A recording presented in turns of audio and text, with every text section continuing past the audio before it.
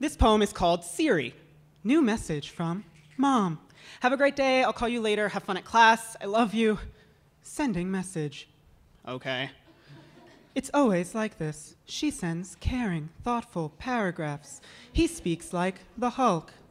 But I know he calls Mom almost every day, like he just needs to hear her. Then he hangs up. New message from best friend. How are you holding up? Typing. Typing. Typing. It's always like this. He wants to tell his friends everything. He hopes they will always be there, like family, but not like family. New message from Mom. Call me when you get a chance. Calling Mom. Before he hangs up, he does not tell her he loves her. He does not tell her he is unhappy. I know that he is. I have sent the messages. I have made the calls. 2 o'clock a.m., 3 o'clock a.m., 5 o'clock a.m. No one makes calls at 5 o'clock a.m. Who are you calling at 5 o'clock a.m.? No one will answer.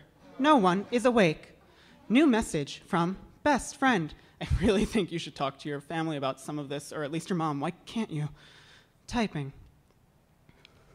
I'm, I'm not myself in my own home. Uh, my family doesn't actually know me. They talk to my shadow, the boy I leave behind. But I don't think I need them. I have the friends I've picked and kept and clung to. I'm comfortable with them. I'm not comfortable with my family, or I'm just scared to be. Do you want to send this message? No. Deleting message. Sending message. I can't. I just can't talk to them. I can't call my mom. Did you say call mom? No! Canceling. Opening voicemails. He does not tell anyone. He still has ones from his dead father.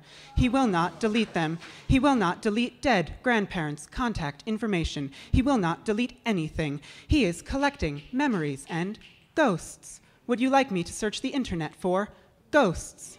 Ghosts. Dead. Haunting.